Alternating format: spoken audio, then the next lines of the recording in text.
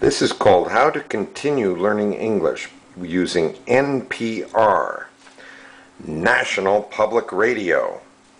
What happens is you go to this wonderful website, npr.org, O-R-G, and then you're going to scroll down. Let's see what we see down here. Aha, there it is on the side. Do you see this little circle here? It says, This I believe. Let's see if we can get closer. There we go. This I believe. You're wanting to click there so then we can continue our learning. This will take us to more than 100 topics. People who've made statements, people who have, each of these people have said something that they found interesting. So let's see if we can look at this. What's this say? Make a statement. Many people have made a statement. There's more than one life to live. The one I particularly like is something that said more essays. You click down here, and we'll actually be able to see some famous people and not so famous people. We have lots and lots. Look at all of these here.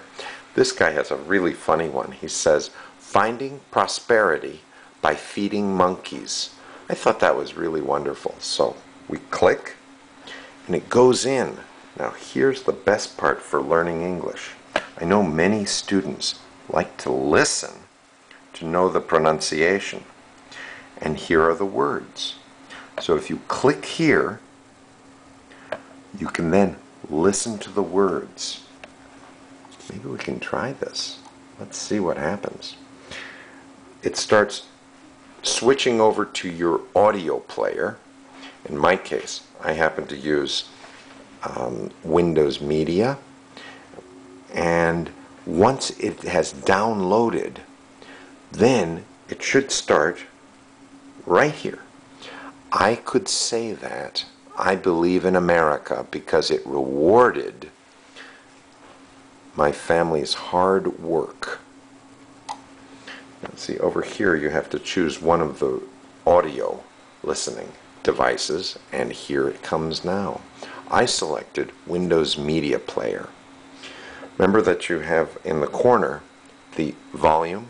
You also have, you can From stop NPR any News, time. This is All Things Considered. I'm Robert Siegel. And I'm Michele Norris.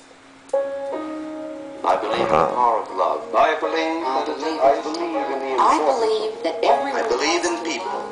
This I believe.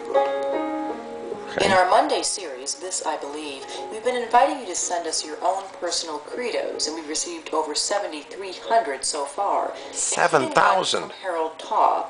He's an attorney from Seattle and the son of Burmese immigrants. Here's our series curator, independent producer, Jay Allison. In the essays you've sent us, we have encountered all manner of beliefs. Belief in the humble gifts of life or in the exalted ones. Belief in country, God, family, self. We've learned of your belief in battle. alone in the Burmese jungle, See? predicted that my birth would bring great pride. You don't have to listen to that introduction. The introduction is always given where they explain. But I jumped ahead. Watch. See, this was back where it was. We have encountered all Blah, blah, of blah. beliefs. He's just talking, talking. So there's an introduction. I can move forward. I could say that I believe in holding on to rituals and traditions See? because they helped us That's where he's starting right here. Let's see if we can get that again.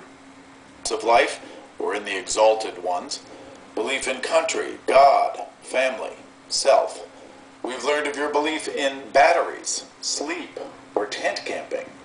But we have encountered only one belief, like the one you're about to hear, and we don't expect to receive another like it. Here is Harold Taw with his essay for This I Believe. I could say that I believe in America because it rewarded my family's hard work to overcome poverty. I could say that I believe in holding on to rituals and traditions because they helped us flourish in a new country. But these concepts are more concretely expressed